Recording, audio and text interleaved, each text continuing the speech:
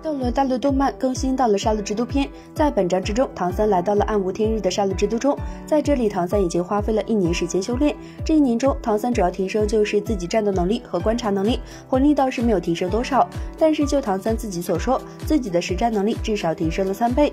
杀戮之都在一片特殊的空间之中，所有人到了这里都无法使用魂技。一定程度上来说，到了这里，封号斗罗和普通魂师没有任何区别，都得靠着自己的本身实力去战斗。所以唐三在这里如鱼得水，几乎没有敌手。巅峰时期，唐三曾经以一敌百，还或是离去了。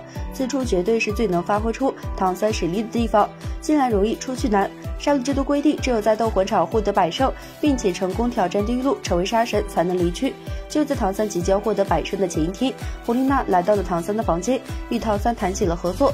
明面上，唐三的身份是昊天宗弟子，而胡丽娜则是武魂殿的圣女。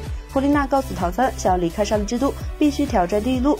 地狱路危险重重，这么多年来只有八人挑战成功，几乎是千里挑一的难度。